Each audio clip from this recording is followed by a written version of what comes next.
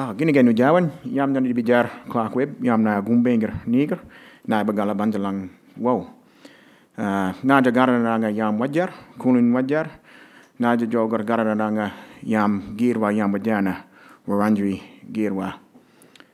Berapa dengan di yirali yilada jalambau, engran berapa dengan yila yam wajar wagen yirina yam wajar nyangan, menyala girwa darondang wajar wajjar yidagay yilla yam girba jogor jangalay nyangen bamun. Yida irali ju jurang uh, narangi ay juranga eh, gay niala gedilla darondaw yam wajar menyala bega nani nambay engadam jawgor yungumbang o mago guri wajar rugumbang wajar, umaga gori guri gundi Waruga mang umaga gori junubin.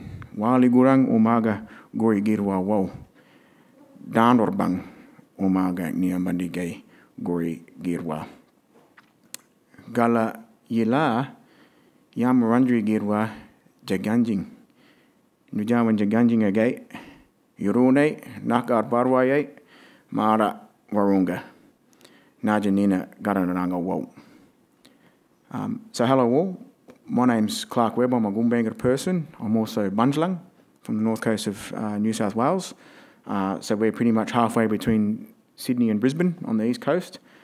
Um, I just wanted to pay my respects to country here, Kulin country, and to also Wurundjeri people, uh, mob. Um, as we know, long ago, when, when Europeans first arrived in this place, they came across lands that were perfect. Um, and the reason that those lands were perfect is because they were managed that way for eternity. And so the people who were managing those lands were also healthy and happy and, and strong. But for some reason, which I still can't get my head around, the Western idea was that this land needed to be improved. And I don't understand that because how do you improve something that's already perfect? And by improving it, they did bad to country. So when they did bad to country, they also did bad to the people. And they made country sick. We know the atrocities that then occurred the stealing of lands, the stealing of children, um, the spread of disease, the massacres, all of these atrocities and genocides that have, have happened in our history. We know that, um, and in despite all of all of those atrocities and all of the trauma that accompanies it in our community, the mob here, Wurundjeri people, Koori people, uh, still stand strong and stand tall and stand with chests out and fists in the air. And um, I'm not sure if the mob here uh, uh, understand that a lot of us mobs from different parts of the country see all the work here and we appreciate the work that's being done. Um, they're standing up against continued colonisation and staring conti- the continuum of colonisation in the face and calling it out. Um, it's something that we appreciate um, from all over the place. So I wanted to acknowledge uh, the local people here as well, and thank you, Auntie Di, as well, for the welcome. And I want to acknowledge. Um, so, um, so it amazes me in, in such a place that has really borne the brunt of a lot of colonisation, a lot of invasion and colonisation. We still have these stories and the sites um, and language. It's something that's very special, I feel. So I want to acknowledge acknowledge that before I start. And it's important that we acknowledge these things because um, our the development of our school, the Gumbaynggirr Freedom School, um, and the sustainability of our school does not occur if we're not calling out colonisation and if we're not staring it in the face and standing up against it. So, really wanted to um, show my appreciation to the mob here. And uh, thank you for having me as well. So, uh, I'm the um, CEO of Muurlay Nyanggan Aboriginal Corporation, um, which is the proprietor, our corporation is the proprietor of the Gumbaynggirr Freedom School, uh, which is the first uh, bilingual uh, Aboriginal bilingual school, oh sorry, first bilingual school of an Aboriginal language in New South Wales. Um, and basically, I'm just going to tell the story of how we got to where we are today. So how do I click along? Is there a clicker? Sorry, I'm not real tech savvy. Ah, ah, beautiful. Cool. One more. beautiful. Thank you. Sorry, I'm not real tech. Um, so there's, it's important to acknowledge that there was a lot in, in our community, there was a lot that happened before I was even thought of, eh, before any of us had thought of. So we were very lucky in, in, our, in our country to have a lot of elders who I feel like could see into the future and they could see that the work that they were doing would sometime, at some stage, be picked up and it'd be really important for our community. So, uh, in Gumbaynggirr territory, Europeans really started to arrive uh, in the 1860s with the introduction of the Robertson's Land Act. So that's when the population of Europeans really started to increase. And obviously, things were rapidly changing for our community. And so a number of elders then started to record their language with uh, early explorers and early historians. So there's a lot of written resources from like 1900, 1901, that type of thing. So those resources are really important. In 1930, an, old, an elder by the name of Uncle Philip Shannon um, became quite close with a German American linguist by the name of Gerhardt Laves. Um, Uncle Philip was born in 1860 and so by 1930, he was 70 years of age. And so the language that he gave to Gerhardt Laves is a very old, our oldest form of our language, Gumbaynggirr. And he recorded more than 20 stories completely in Gumbaynggirr language. So that resource is really, really vital to us. And then later on, from the 1940s to the 1970s, there was a number of elders who then voice recorded their language as technology improved. Uh, so one of the people who recorded Gumbaynggirr was my great great grandfather um, by the name of Clarence Skinner. Uh, so he recorded a number of stories and a number of translations. Uh, and perhaps, well, the biggest amount of, the largest amount of Gumbaynggirr material was provided by an old man, Uncle Tiger Buchanan. Um, and Uncle Tiger recorded hours upon hours of Gumbaynggirr. And there's some just free speech and telling stories, Gumbaynggirr stories, but then there's also literally tapes where he's teaching us Gumbaynggirr language. So he's slowing it right down. So that's why I say he's like had the foresight to understand that we'd need those tapes at some at some time in the future. Um, in the 1980s, some uh, Gumbaynggirr elders became very, very distressed at the decline of their language. Gumbaynggirr. So there was a group of 10 elders who decided to do something about it. And so they started to catch up every week and they used to pool their pension money in order to um, get food and to start to um, find historical records uh, of the some of the words that they had forgotten. And they had heard about this young man. Well, he was a young man at that time, Brother Steve Morelli. Um, they had heard that, that he was a linguist, so they asked him to come and use his expertise to support them in bringing their language back. Uh, so, as a trained linguist, that's what he did. And Brother Steve is still with us today. He's not a young man anymore, um, but he is doing really vital work in our community still, in our language space. So, that vision from our elders in the 1980s, they then opened the Muurrbay Language and Culture Cooperative in 1986 and Muurrbay have gone on to produce three versions of the Gumbaynggirr Dictionary um, and the Gumbaynggirr Stories book, all which are really important resources for us, and they also actively teach teach our language. Um, uh, and they also support another 10 Aboriginal languages along the northern rivers of New South Wales. So they do a lot of really important work. And um, I was lucky enough, and a number of my friends and, and family were lucky enough to spend a lot of time with our last elder to speak Gumbaynggirr as his first language, Uncle Uncle Bing Laurie, and uh, our language learning really accelerated with him speaking the language to us because he'd speak it fast. So we just had to switch on, and it was really important.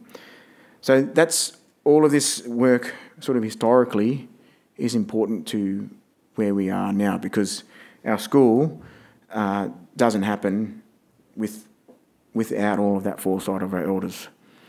And even though all that work went on, we didn't wake up in 2020 and go, let's build a school. it's been a long process um, since we started thinking about the need for our school.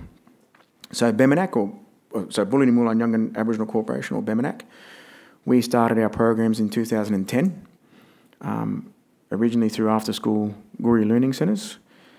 Um, it was a completely voluntary uh, service for approximately three years until we started getting funding in. And once we started getting funding, we started to increase the scope of our programs. So we implemented the Yungan Tutoring Program, which is an in-school uh, tutoring service uh, which we provide to four local schools with Koori kids. Uh, we also started our first Gumbaynggirr community class in 2014, um, and that class is continuing. Um, and, we've, and we've then uh, increased the number of classes. So we do now four community classes per week um, in Coffs Harbour and Grafton. Uh,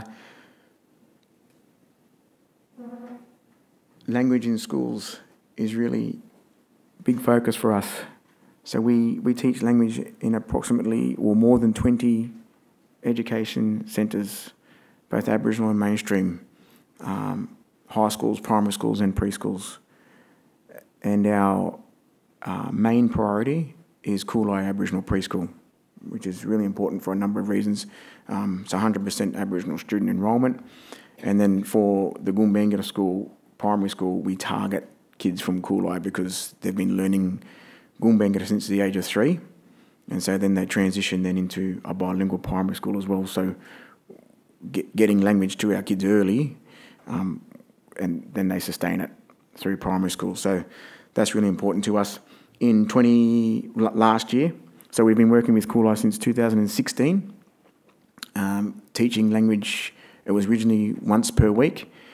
In 2018, we increased that to every day teaching, and also the staff of Koolai Preschool actively learn Gumbaynggirr at our uh, community classes. So they are then doing language all day with their children as well. So at this time last year, we were comfortable to say that Koolai is a truly bilingual preschool as well. Um, so there's some great work happening there. We we also run cultural camps, which we have since 2014, which are really important to because our our language belongs in the country, so it's really important that we are also connecting to cultural practices through our camps, connecting to country, connecting to our stories, all of those type of things. In 2017, we opened a couple of social enterprises. Um, so one being the Gumbaynggirr, uh, Ging and Gumbaynggirr Cultural Experience, as well as Nyanggan Gapi Cafe. Um, Gopi is a little bit lazy for coffee. um, we could have probably said Nalu Guru, uh, so, which would be black water, right? So could have had that for coffee. Um, but anyway, so we're going with Nyanggan Gapi, which means perfect coffee or strong coffee. Um, and that cafe and our tours occur on a on a mountain which we we call Nigi Nigi. Um, in English, they call it Sealy Lookout. So it gets approximately 250,000 visitors visitors per year. And at the time of opening that cafe, it was about providing um, employment and training for our mob, and then eventually turning a profit so the profits can be reinvested into our programs and eventually in our school. Um, at that time, the unemployment rate of our community in Coffs Harbour was 24.5%. So almost a quarter of our population unemployed. And that's why we felt the need that we had to we had to change that. And because well, I'll get to that. But the issue is that a lot of our young people move away for employment opportunities. So we wanted to change all of these things. Um, and we also have a eco resort, which is in DA development application at the moment, and hopefully that'll be approved soon. Um, and all this is important to the self sustainability of our school, and I'll get to why self sustainability is so important to us um, and to maintaining our school, which we just opened six months ago. So I'm going to keep taking on this little store uh, tour of our school. Whoops. Oh, oh. Taking a tour first. In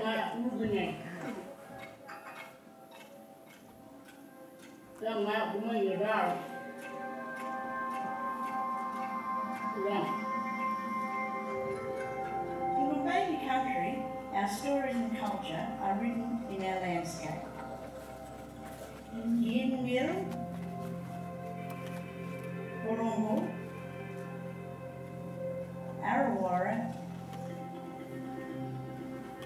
Munya Munya, Nigi Nigi. Yalami, come and let us share our culture with you.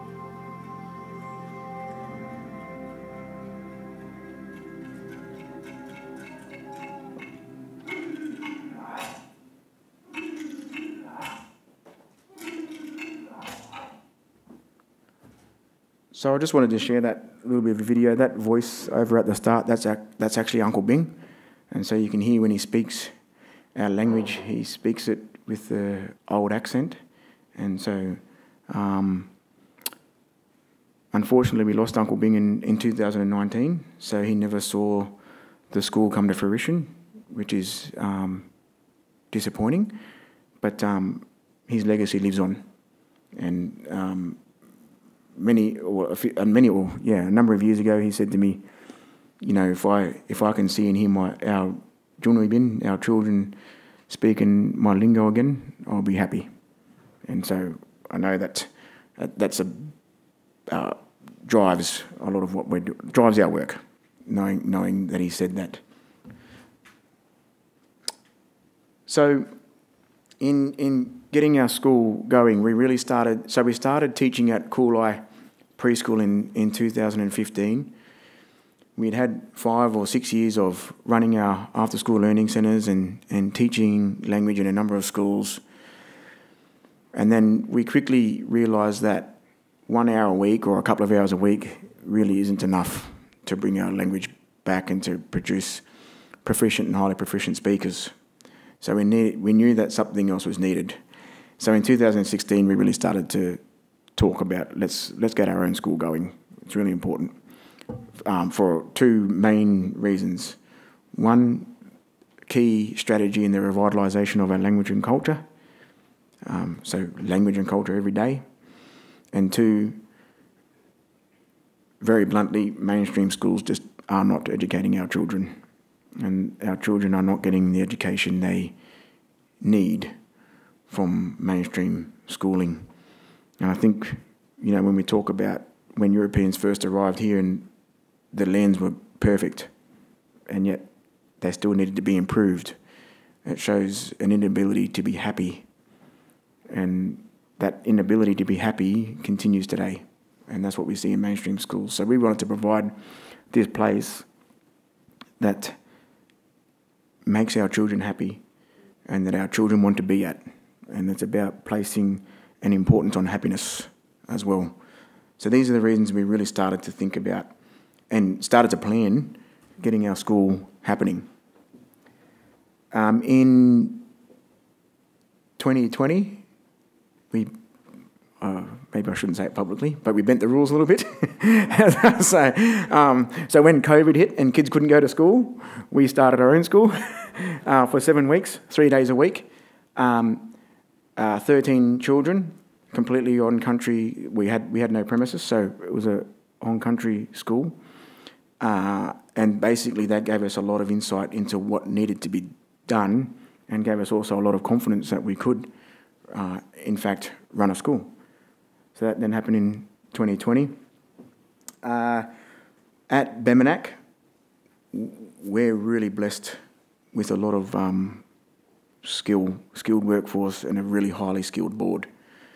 So across the whole continent, there's less than 100, well, so for example, there's less than 100 qualified Aboriginal accountants. We happen to have three of those accountants in Coffs Harbour. Uh, one of those accountants is on our board, and one is our chief financial officer. So, and then we also have um, unbelievably skilled and dedicated staff. So, driving the school has been a really, a, a truly ground up grassroots initiative. And it hasn't been easy. Uh, there's no step by step guide on what you need to do to open a school. So we're now a um, registered independent school with the New South Wales Department of Education. We had to get our registration through the New South Wales Education Standards Authority. But there's no step by step guide on what you have to do. It's a, it's a real journey of self discovery.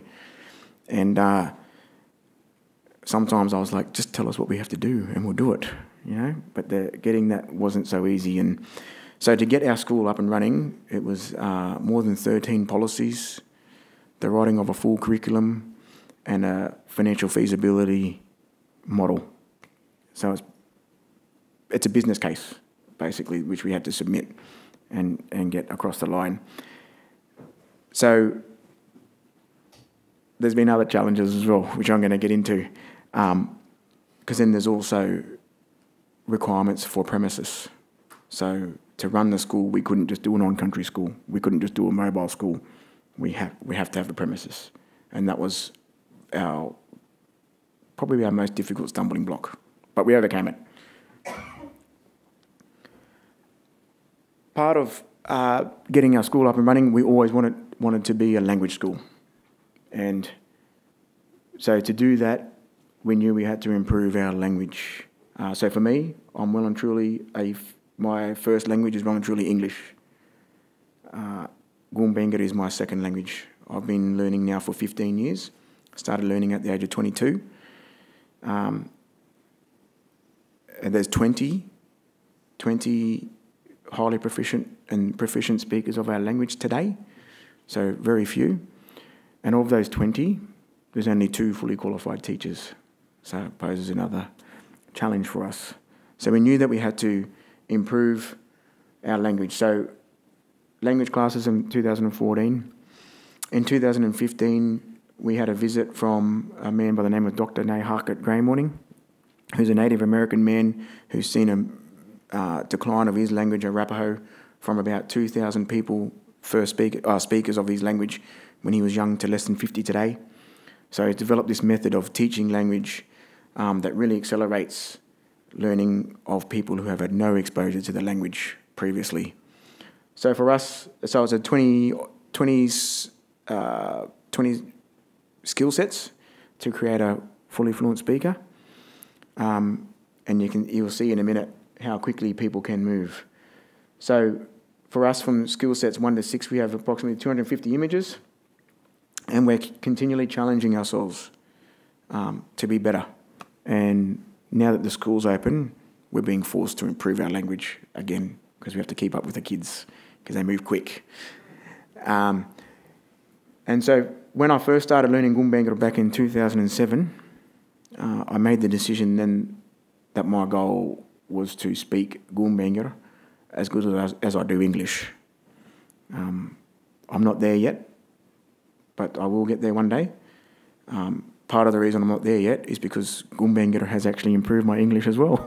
um, so, but I will, I will catch up to English at some point. That's, that's my goal, and it's important that we keep that. So, um, this little video here, this is Nathan. Um, so, this is from 2018. At this stage, Nathan had been learning Gumbaynggirr for approximately three months. Um, no prior exposure and doing approximately or less than three hours a week. Um, and so you'll see that he's going to speak to some images, and then I'm going to uh, ask him questions in Gumbaynggirr. I'm going to interrogate him in Gumbaynggirr, but we don't break into English.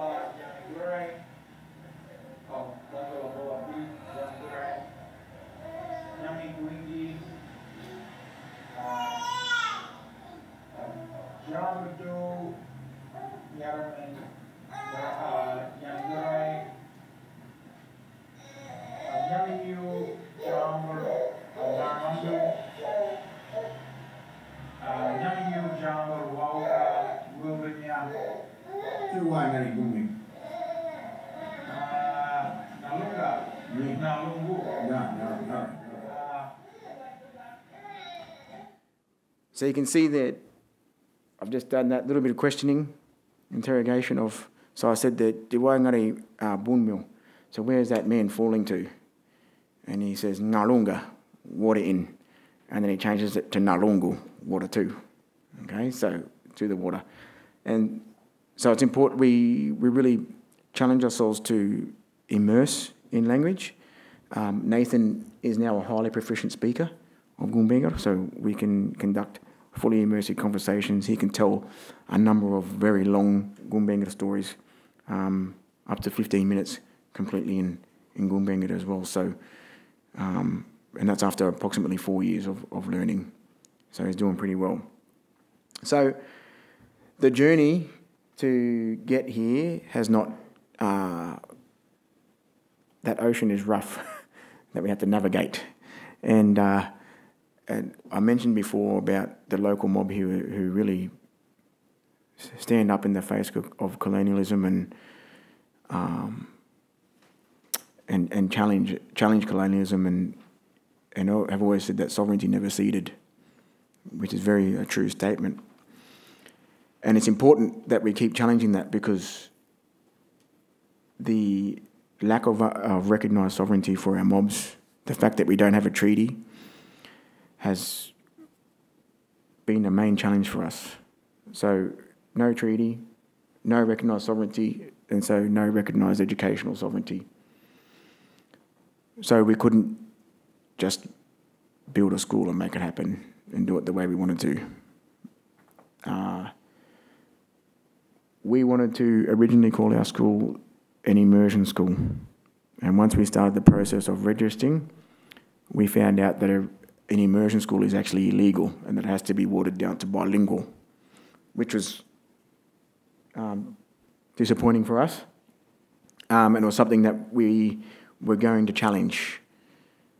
And we nearly said, let's just open our school anyway because no one has um, jurisdiction over us. But then we made the compromise because we couldn't risk if Koori children are going to a school that's not registered, that puts them at risk of being taken again. And so that was something that we didn't want to risk. And we needed, we knew we needed to get the, the trust of parents as well to get the enrolments. So that was a compromise that we made.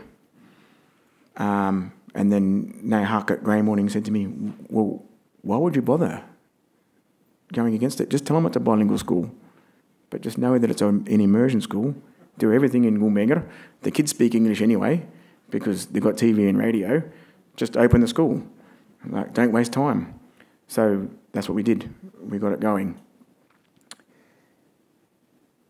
I mentioned before that there's approximately 20 highly proficient and proficient speakers of our language, and that only two are fully qualified teachers. So our staffing structure is uh, a, a challenge for us. So we've created a staffing structure that includes a, a principal who's a non-speaking principal of our school, a non-speak, non-Gumbaynggirr speaking principal, but is learning. A classroom teacher who is also a new learner of Gumbaynggirr as of this year, and two language teachers to also be at the school. Um, so this is really important uh, because the, the funding that government provides for independent schools does not cover that staffing structure. So we've been really lucky to have um, the Paul Ramsay Foundation come on board to support that staffing structure as well. So that's one of the challenges we've had to face. Um, I'm going to skip a little bit. Um, to premises. So in July last year, we still didn't have a premises. And literally in early August, so literally 12 months ago, TAFE came on board and said, Oh, we've got an old bricklaying facility um, that we're no longer using. Do you want it? And I said, Yep, we want it. And they said, Do you want to look at it? I said, No, we don't have time. we just get it, get in, get the bricks out, and we'll build it. So um, that's our current um, premises, and keep we'll keep um, in there for a little bit of a time. So, and one of the things that has been a real challenge is this collusion to the ideas that we're less. So, Dr. Chris Sarra often talks about, you know, the Australian public, and unfortunately, sometimes as, as Aboriginal people ourselves, Goori people, we've been conned into this idea that we are less and that our culture is less, and that if we're teaching our culture, we're going to hold our kids back and all that type of thing. And unfortunately, that's been our experience as well, that we've had to overcome the idea that we are less. And so, we, some of the feedback from our own mob was that we're going to hold our kids back. And we really wanted to try and um, get through that. So, I'm just going to fast forward a little bit because I'm running out of time. But just with that in mind, so we can create immersion spaces for our kids, and our kids will be fine. They will learn. They will not be left behind in literacy or numeracy. So I'm going to show, just going to fast forward. That's our board, amazing board. So I'm just going to, sorry, I'm just going to fast forward to, so this is Eli. He's a kindergarten student.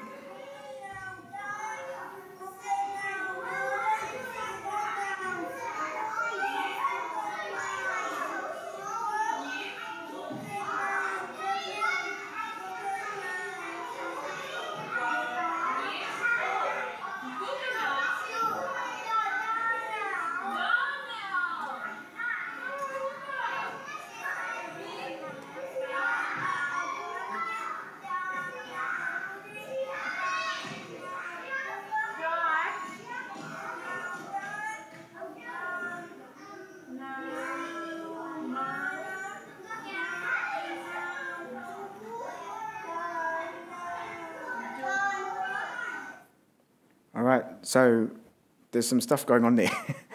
so in the old days, our old people were only counting to six.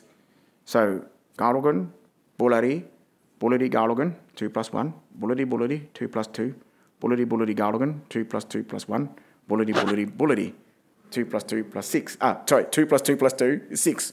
Or Juggle, which is approximately 6. So I could say, oh, I see approximately 6 birds flying. So what he's doing there, so our, so Muurrbay Language Centre created a new system of numbers in order to be able to, for, to immerse children in maths. So what he's doing there, so that we created the word guga. So our word for emu was gugamgan, and it has three toes. So guga is three.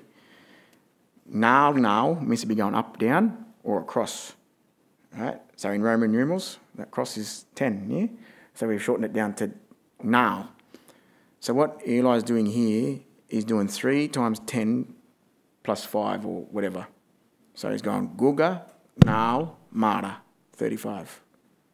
So these are the, this is where I'm, you know, so the thinking that our culture holds our kids back, we can really, really and truly do away with that now.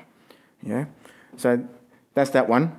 Um, and so Tani, who's a, she, so Tani is our classroom teacher. She's a new learner of Gumbaynggirr, but you can see that she's actively using language as well after only six months of, of um, being immersed in the language. So um, I'm going to keep fast forward again to one more.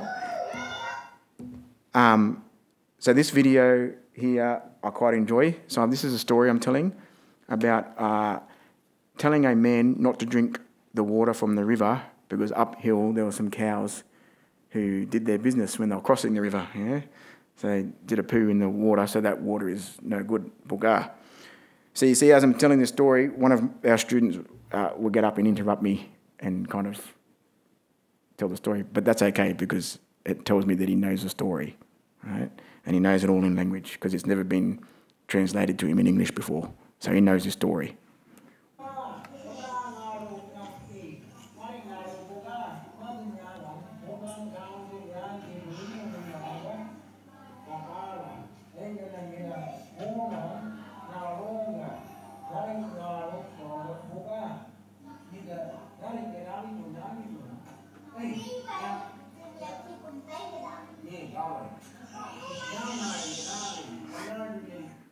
So he, get, he gets up, and so I said to that man, don't drink that water.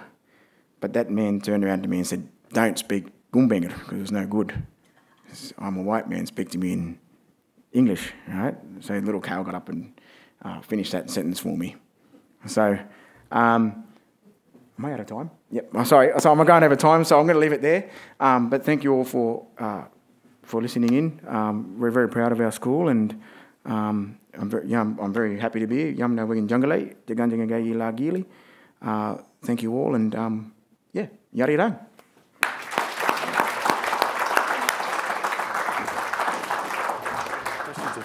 questions, yeah.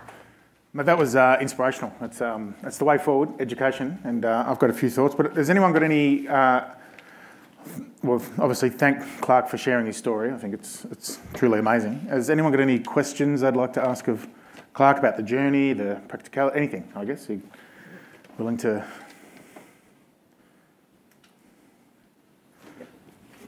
the story really inspiring. Um are you still working with multiple other schools, mainstream schools? So as well as you're obviously very motivated with, with your school. Yeah. So, so do you still have time to, you're still doing a lot of development work in other, other mainstream schools and the like?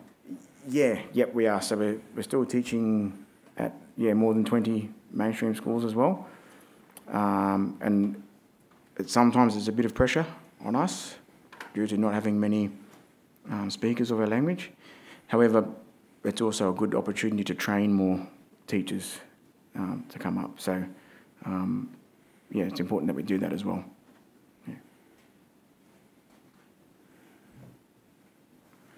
Uh, Rachel? Yeah, thank you. That was so impressive what, what you have all done there. I'm just blown away. Hang on a sec, Rachel. We'll get a mic to you just so everyone can, uh, online mainly. thank you. Is it working? Yeah. Um, thank you. I was just saying it's so impressive what you've all done up there. I'm, I'm just blown away with the effort and what you've achieved. So um, thank you for sharing it with us.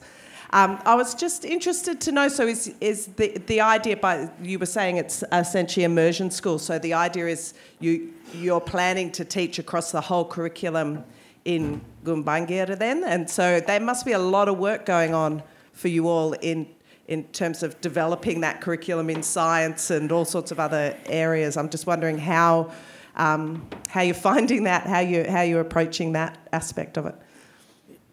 Yeah, um, thank you. Yes, so we're definitely aspiring to be a complete immersion school, um, and a lot of it's uh, a lot of the subject area is really quite easy, if I'm honest.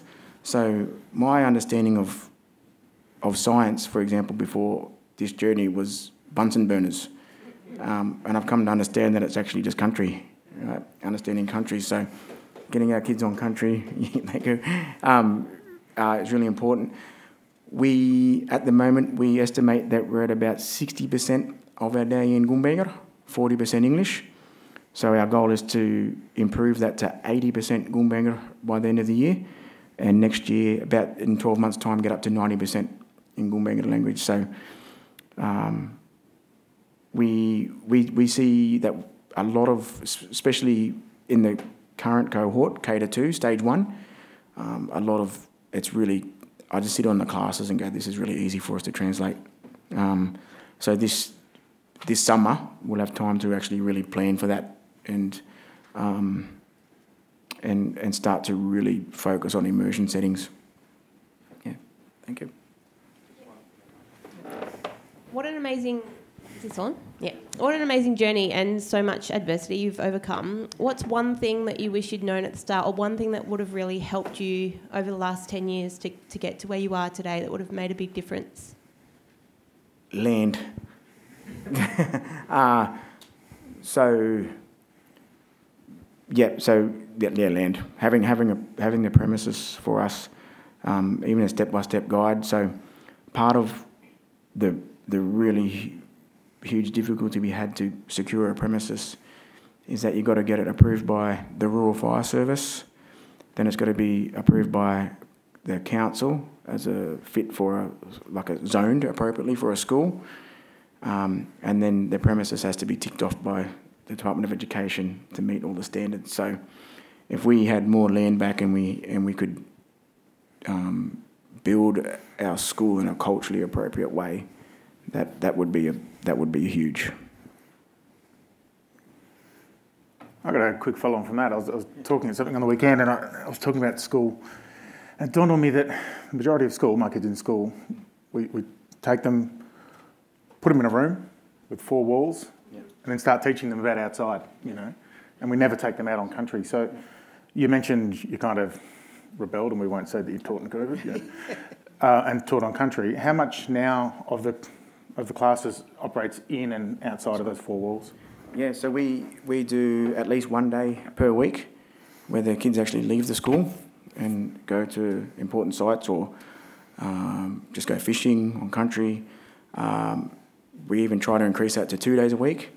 And in fact, when we first opened the school, um, COVID hit as well as floods um, as our school was being built. So there was trades people who couldn't um, complete the job in time. So the first, we couldn't officially open the school for the first three weeks of school term because the premises wasn't ready. So we just said, okay, we'll run a, a cultural program. And so it was a cultural program by Bemenak, and we got the kids that way. So the first three weeks were completely on country with our, with our kids. So um, it kind of was a blessing in disguise because that's what we really wanted to do anyway. Um, and now we, yeah, just continue, continue at least, at least weekly. Um, as the school grows, um, it's going to be a little bit more difficult for us to maintain that, but um, we're definitely committed to it. The the location of our school at the moment is just down the road from the botanical gardens, so you know, uh, plant identification and stories of plant, all that type of thing, um, we can do quite easily. Cool. Yeah, yeah, yep. We've still got a couple of minutes. I just um, I read an article the other day, and it was talking about how when first contact happened, um, the punishment for practicing language and caring for country that's still seen today in modern times. Um, so my question is, what is the biggest challenge you faced? You know, trying to teach kids who are existing in within two sovereignties. Yeah. Um, um,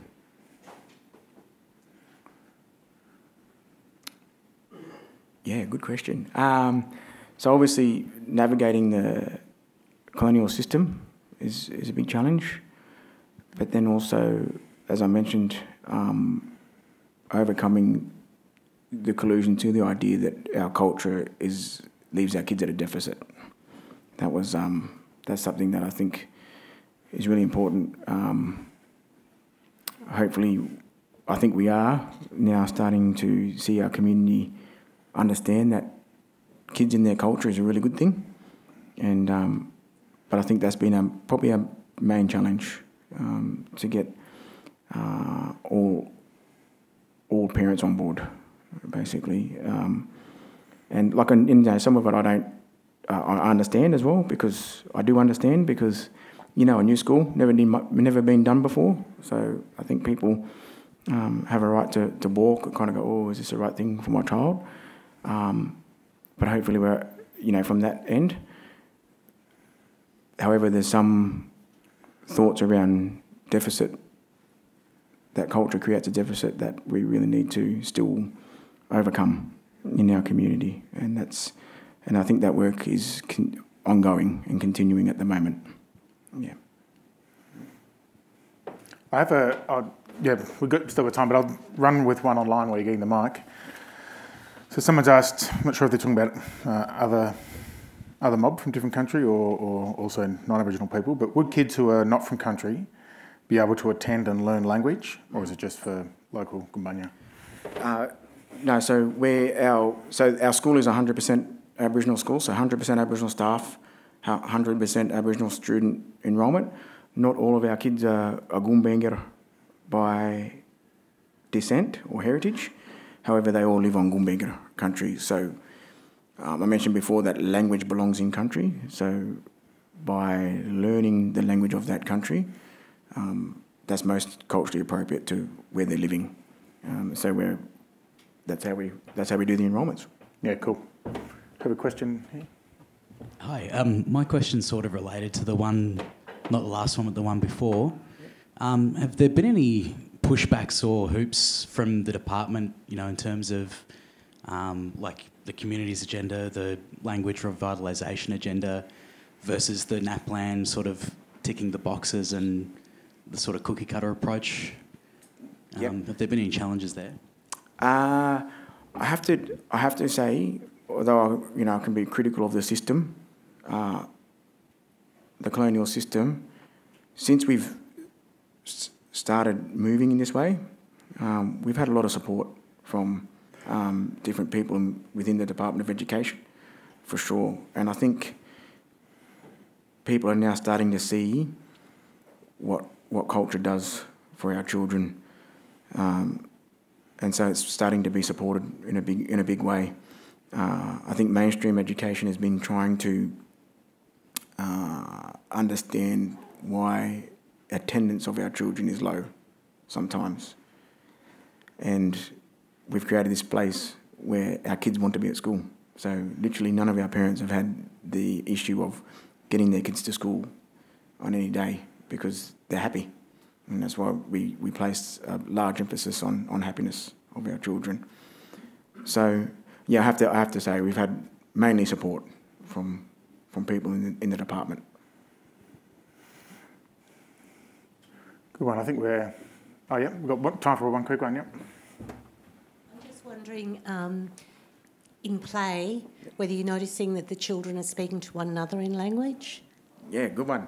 Ah, that's a really good one. So we we are now starting to police that more closely as teachers.